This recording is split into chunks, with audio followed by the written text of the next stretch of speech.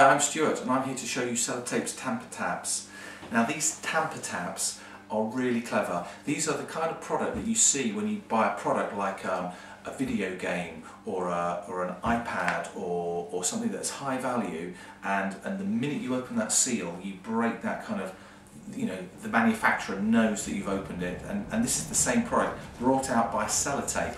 Um, look how small the packet is. You don't have to have many it's kind of useful because if you had a product that you want to send out and you want to just put that tab on it to, to uh, mark it as you know unique and to mark and, and to prevent somebody sending it back to you having said I haven't touched it this is the product because it does exactly what that it does.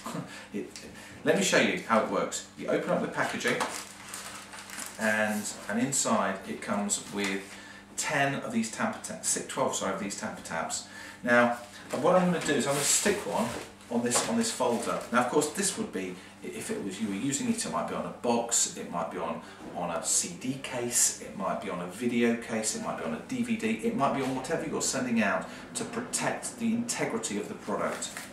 What you do is you take one of the tabs and you just simply stick stick it over the surface uh, of the thing. Now, this is the bit that is interesting.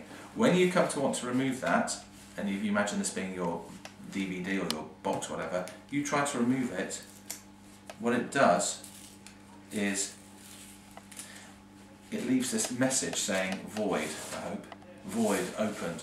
That is clearly an infringement, it clearly means that the product's been opened and it prevents and it, it safeguards your it safeguards your position because you know that it's been opened.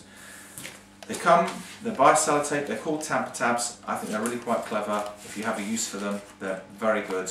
Um, and for details on this product or any other product, just go to the website www.cheapstationery.co.uk.